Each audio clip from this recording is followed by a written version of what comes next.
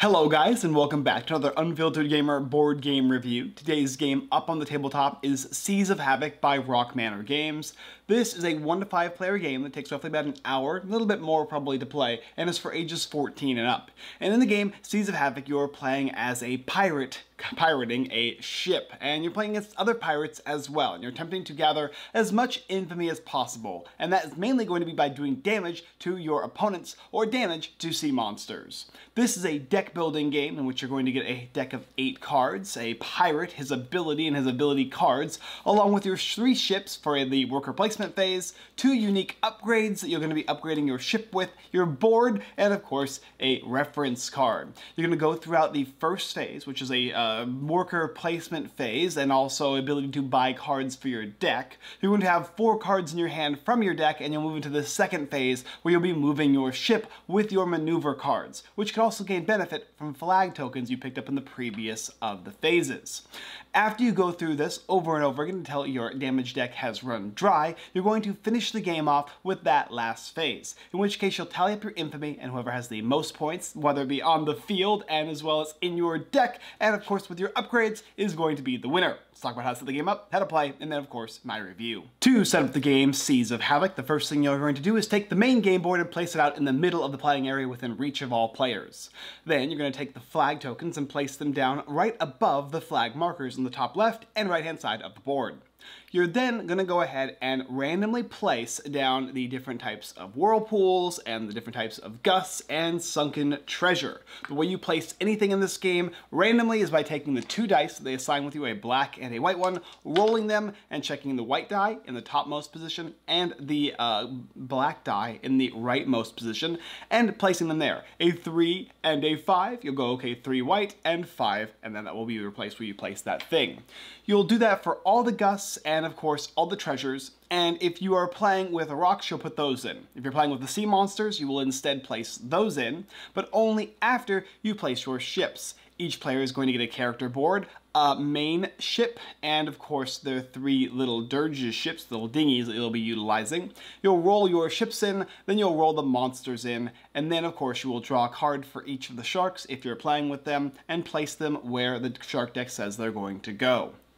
After you've done that, you are going to then go ahead and uh, take the first player marker, place it on the right hand side of the game board, place all of the tokens, whether it be your cannonballs and or your different coins into the treasure chests if you have the deluxe version of the game, take your market deck and shuffle it up, deal out five cards, and place all the rest of the tokens as well as decks of cards like your damage, your sharks, your sea serpents, and your krakens, and place them face down. Um, and the final thing, of course, is you're going to be taking the damage deck and making it face up. And it's going to be 10 cards to start with, plus 5 for every player playing the game. Make sure that those are revealed because when those are emptied, that is when the last phase of the game is going to take place, in which case that's when you're going to score.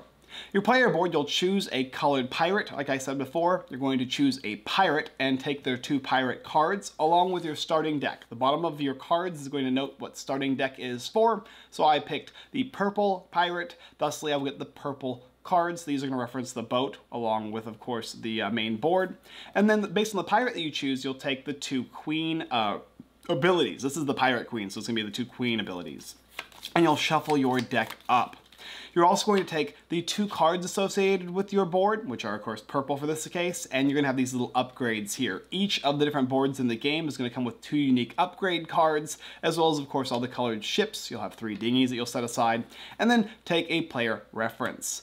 After you've done all this, you're just going to go ahead and draw four cards from your deck of maneuvers, and you'll set these aside because you won't use them just yet. Then finally follow it all up with placing your infamy marker, the little skull token, on the zero along the game track, which is what's going to tally up points for you as the game moves on.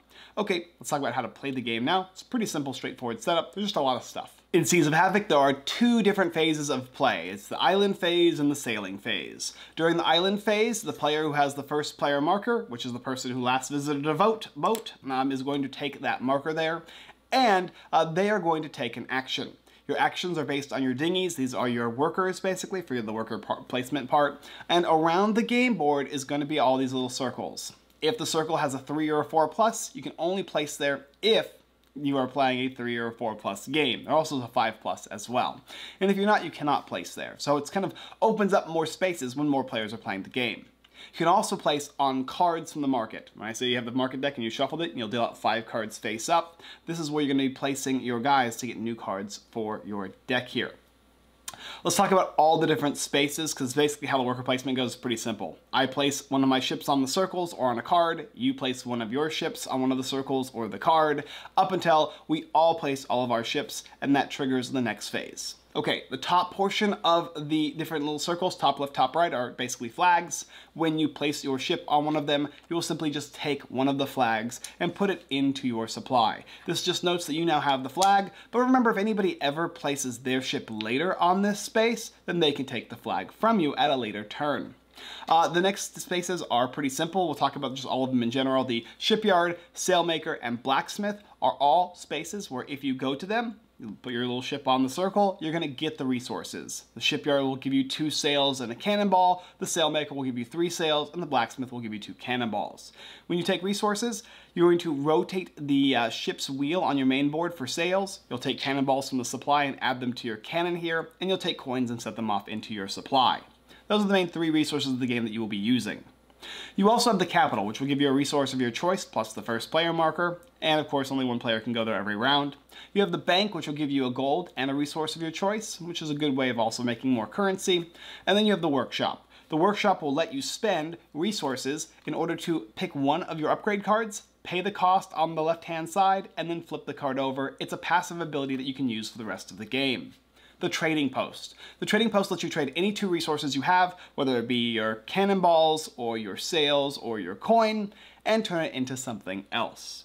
The deep dive, or deep cove I should say, that is going to let you remove cards from either your hand or discard pile. You can remove them from the game and they do not come back into your deck. Whenever you do remove them, which is called scrapping, you can take any resource that is in the top left hand corner of each card that you scrap. So in this case here, if I got rid of this sailing sloop of war deck starter card, I would get one sail and I would get one coin after I removed it. Then you have the market. You can place one of your boats on one of the cards. Only one boat can go to each card. When everybody places on all these spaces here, that is going to trigger the end of the um, market phase, the the, the moving your, placing your workers around phase, in which case each player is going to then spend their currency uh, to pay for the cards from the market. And of course, just like we are talking about how you can uh, get rid of cards by scrapping them in order to gain their benefits, so the cost of the top left, the cost of the top left of the cards in the market deck, what you have to pay in order to gain the card. You need to pay a, uh, a wheel and a, a cannonball for the card, you spend it, and then you get the card. If you place a ship on a card and you end up not being able to afford it or don't want to, you can simply get rid of the card. Doesn't count as scrapping it, but you can make sure that other players don't get it. And then after that, you'll move on to the next phase where you're going to be sailing around with your boat. The next phase of the game is, of course, the sailing phase, which is going to be basically you taking your cards in hand and everybody else as well. You'll have four of them, generally speaking. And when you start, it'll be the first player who starts, and you'll be placing one of your cards from your hand into your discard pile, which is on the right-hand side of your board. From there, you will activate the maneuver. The maneuver is in the square at the top right-hand side of the card. It will say what your ship does. In this case, it might be move forward and then move left, or it might say move forward or move forward again, etc. The card that uh, dictates what it does is actually going to be in the middle of it. Right, on, right above the maneuver tells you what you can do with the ship, and then in the middle it tells you what is going to be performed. Some cards might say to move, and then fire a cannon, and then, if you want, you can take an additional maneuver by spending a sail to move forward afterwards. Each card is unique and different in its own right, and it will do certain things, but the main things that it's going to do are rotate, move, and fire cannonballs. Additionally, now that uh, we've gotten through most of the cards in the game, there are also going to be these flags that you're going to be getting at the worker placement phase. Some of the cards that you purchase in the market deck here will have at the bottom of the card a symbol, and that symbol is going to reference a flag. And you're going to do whatever that symbol says after you complete all the actions on the card. So this one here says that you can perform a mover, maneuver going diagonal, left or right. Then you may choose to spend a sail to move forward. And then if you have the green uh, sail, you're going to get a resource of your choice after playing the card. So if you have the flags and you play the cards during your turn, you're going to get the benefit. If you have a different color flag, you will not get the benefit of the card that you played. So purchasing cards of the same color that you have of flags probably not a bad thing, and trying to keep those flags also doesn't hurt as well. And then, of course, after you've played a card, the next player will play their card, and you'll just keep going around in a circle. If you play a card and you don't want to use it, you can simply play it and pass. And if you have no cards in hand, you can simply just pass, and everybody else can finish playing their cards. If you have a damage card, when you play it, it gets instantly scrapped and removed. And if you um, want to, um, you can also choose to fire at things. So that's the main aspect of the game to score points is shooting things. You'll be shooting other players. You can hit them on the sides for two points or in the uh, bow or stern, the front or back for three points. Whenever you take damage in this game, you're going to draw a damage card and put it into your discard pile, and that card is going to be a dead draw when it gets shuffled back into your deck. When your deck runs out, you'll shuffle all the discards into your, and make a new deck, and you'll draw cards from there. And so that's how damage is going to kind of uh, stack up into players' decks. But remember, whenever you play those damage cards, they go away. But at the end of the game, whatever damage is left in your discard pile or in your deck is going to be extra negative points at the end so it's important to keep track of those cards. You can also fire at sea monsters provided you put them in the game, um, and they are going to give you points. Each one is a little bit different, and there's a bunch of modules. It's the shark, the kraken, and the sea serpent, which we'll get into later. Uh, during my review, I'll talk about it. But basically, there's a last little thing that can happen to you, which is going to be collisions. When you bump into pretty much anything in the game, um, it's likely going to take damage. You're then going to rotate your ship if you would like, left or right, 90 degrees. And of course, you're going to actually suffer damage. Uh, you're going to take a damage card and put it into your discard uh, pile um, for anything that isn't a ship. So if it's you hitting another ship, they'll take the damage and you'll get the point. If it's you hitting something else, they will take the you know, like, like if it's like a sea monster or whatever, you'll get the victory points, but you're also going to take that damage. So anything considered a rock in the game is going to be penal penalizing you, but also giving you victory points as well. Mainly the idea is shoot everything that you possibly can. And that is it. After all of your cards are played, everybody passes. You're going to take all your ships from the worker placement area and put them back into your supply.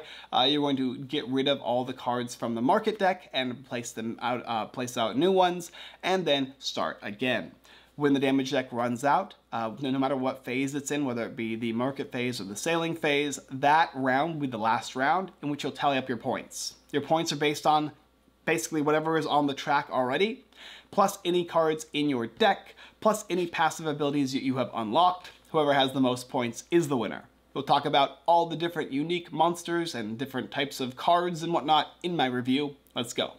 So Seas of Havoc has quite a few different uh, types of variables that you can add to the game. You have the shark, the kraken, and the sea serpent, and I like to add all of them. The Kraken is going to make you remove a rock from the base game, meaning instead of having a rock down there, you'll have two Kraken tentacles. And how these work is once you've destroyed um, a Kraken tentacle in a various number of ways, you'll be gaining victory points and possibly drawing cards from the Kraken deck, which may in turn allow you to place out new tentacles. If there are no tentacles left, you'll place out the head, and the head of the Kraken destroys all tentacles, and you score the most points when destroying the head. If there are no tentacles on the game board, during the next round before the sailing phase, you'll place new tentacles out by rolling the dice the Sea Serpent. The Sea Serpent just starts in the game board somewhere, it's got the head, and when you defeat it, it'll come back somewhere else by, of course, rolling the dice, and you're going to draw cards from the deck until it tells you not to draw anymore. Every time the Sea Serpent moves, you'll add a piece of the Sea Serpent to its backside from where it left, until there are four pieces, and if you hit any part of the Sea Serpent, whatever you hit, everything else behind it gets removed, and you'll score a point for each of the pieces that you removed, including the one that you hit. And if you are never going to have a sea serpent, it'll just come back on the game board instantly. The sharks. The sharks start before the game begins. After you've placed your ships, you're simply going to go ahead and place your ships on the game board somewhere, not during the worker placement phase. You'll simply draw a card for each shark, place it in one of the areas it tells you to place it in. Whenever you place your ships, your little dinghies, in the worker placement spaces that have a shark, you will take a damage, but you can spend a cannonball, if you have one, to remove the shark and gain two victory points. And every end of a round of phase, after the sailing phase, if you don't have sharks on the game board, you can simply draw a new card and place that shark back out onto the game board. There is an additional shark for a larger number of players, but since I have a three-player game here, I've got two sharks out. And those are all the different types of uh, unique monsters that you can add to the game board. Uh, uh, spaces uh, that I didn't talk about specifically are like, for instance, you have the whirlpool, which when you walk onto it, you're going to rotate your ship based on the way it's spinning. A gust space is when you walk onto it, you will move your ship in that direction, and gusts are always placed in the same direction, but are always randomly placed with dice.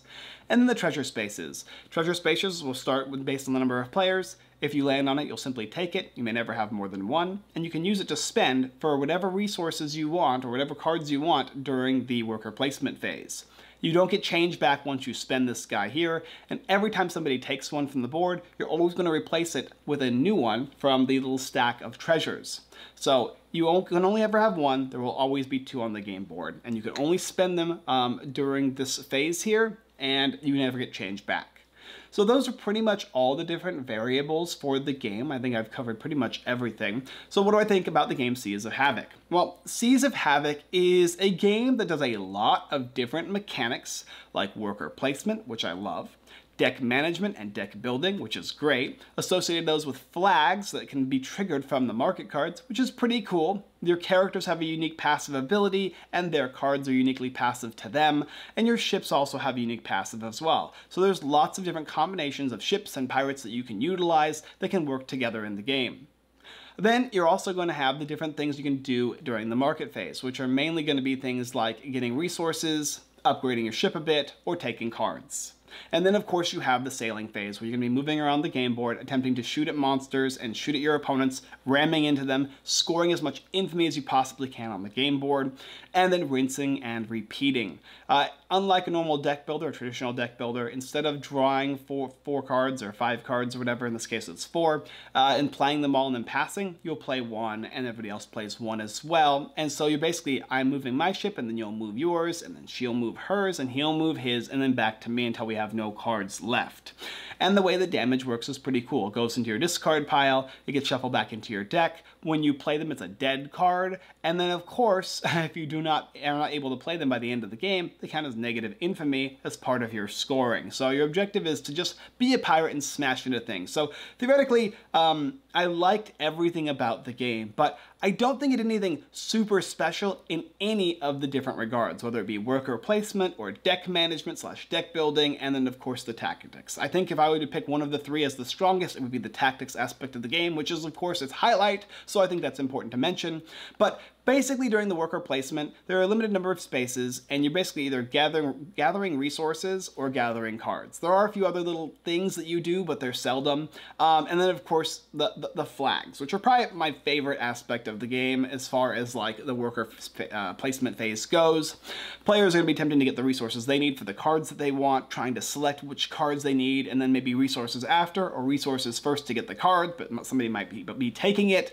And it's not bad. There's nothing really bad about this game. It does work fairly well in everything that it tries to do, but it just never really hit the mark for me in each of the different types of things that it does. Uh, that being said, worker placement is very simple. If you played a worker placement game before, you will understand how this game works the moment you see the game board and the spaces around the little grid here, this 6 by 6 Then we have the deck building. So Throughout the game, you're going to be spending currency to get cards from the dinghies that you placed on them. And then you'll put them into your hand, which is, I love that. I love when you buy a card, you actually get the card in deck builders. Some of them don't do that, this one does. These cards are mainly maneuvers. They'll have either A, move, or B, attack, or both. And then there's of course spending more resources, usually your sails, to move an additional time after you've done those things. Some cards will let you have extra cannon shots, and um, all those cards will give you a bonus, whether it be to scrap a card, draw an extra card, get a resource of your choice, or um, play an extra card right after this one, based on the flag that you have if it matches the card that you have which is a cool little aspect to the game. It's one of the main ways you can kind of add an engine to the, the, the, game, but there's not a huge amount of engine you're going to be doing. You most likely won't get more than 8 to 10 cards. Uh, if you're going every round and you're playing four players with five cards, well, you're not going to be able to get more than one, maybe two cards if no one goes for any of the cards, which most assuredly they will, because it's very important that they do so. Having resources without cards is pointless, except for spending sails to move your ship around the game board. The monsters during the sailing phase. I love these guys. These guys are great. Probably one of my favorite aspects of the game in general. I love the fact that you're blowing up tentacles and the tentacles are respawning and more will spawn. Cracking up the head of the Kraken and hitting that thing is going to give you boatloads of points. The serpent, when it respawns, the first player chooses how it rotates and then it just goes around the game board until you have this long tentacled serpent. And as you bash into it or as you shoot it, you'll get extra points based on where you hit it, which is cool too. The idea of colliding and scoring points, but also potentially taking damage depending on what you're hitting is a cool aspect, a cool idea, and it works fairly well. And the tactics of this game is fine. Sometimes you might get a garbage hand, especially if you get like four damage in your hand, because maybe you just got pounded on the last round, in which case you don't do anything during this phase. Or maybe you only have a card that lets you go 90 degrees and another one that lets you go forward, and then your other cards are damage cards. So during this phase, there's like a lot of feels good moments and definitely a lot of feels bad moments, especially if you just happen to be in the wrong space at the wrong time and there's enough players around you to make you suffer for it, in which case you'll get lots and lots and lots of damage. You can use the scrap card on the worker placement spaces, however you only have three dinghies, so if you do that, you're going to limit yourself on the number of cards you can get and resources you can get as well. Playing the cards out from your hand is a good way to get rid of them, but they reduce the amount of actions you can take in the game during the sail phase. So there is a lot of like if this happens to you, you're suffering in kind of both phases and you have to kind of make the choice as to where you're suffering. And of course, if you get bullied on, you're in trouble in this game. Now, now okay, that being said, this is a pirate aggressive combat tactics deck builder game. It's got a whole lot going on with it, but the main idea is you're just shooting stuff with the cards that you get from the sailing phase. And if you can shoot the most stuff, score the most points, you're going to win the game. Now, of course, don't neglect the upgrade cards that you get, which are pretty cool. Some of them are a little less balanced than others, in my opinion, along with, of course, your starting character's special ability and the two cards in the deck. Gosh, I wish that they had another deck of market cards that you could pick from that you can buy that have unique abilities like this one here. You can take a flag from the board and you don't have to use its flag you don't use its flag action but if you control more flags than any other player you get to gain a victory point. and I loved a lot of the different actions that these characters had. Oops. I loved a lot of the different upgrades that the ships had uh, and the quality of the game is excellent especially the deluxe version of Seas of Havoc. It's a really beautiful game solid artwork all around. I have no problem no qualms with the quality. I wish every game was made like this because because it just shines and makes a good table presence. People are really interested in playing it. Now, now my review was like, uh, my, my opinion of the game was kind of middling as to how much I liked it because I just didn't feel like any of them really hit the spot, but none of them were bad. However, I had some players in this game that really, really loved it. They loved the aggressive combat and the scoring points and how easy each of the phases were to play. So this is going to be kind of a light to medium type of a game. I know it doesn't look like it. Um, and it's going to be for those players who like a little bit of like, take that, but in the form of tactic cards, worker placement, and of course, moving around the game board and shooting stuff. Overall, Seas of Havoc was a solid game. It was a solid experience. I enjoyed my time, and if asked to play, I'll play again, but it's not something that I as much so enjoyed, although I do love the theme, the quality of the game, and each of the different mechanics really, really is in my wheelhouse. So either way, it's going to be up to you to pick up whether you liked it or not. There'll be a link down below in the description. Thank you guys for watching another Unfiltered Gamer board game review for the game Seas of Havoc by Rock Manor Games. If you're interested, like I said, there's a link down below. And if you like it, if you'd love us, if you if you'd love us, if you'd like to, and if you love us, you can go ahead and hit that subscribe button and of course the bell notification button. We do live streams on Sundays, but not this Sunday because we're going to be busy. Uh, and of course we do uh, whatnot streams on usually on Wednesdays. Uh, pretty much that's all I got for you this time. And as always, I look forward to sailing the seas of Havoc with you next time.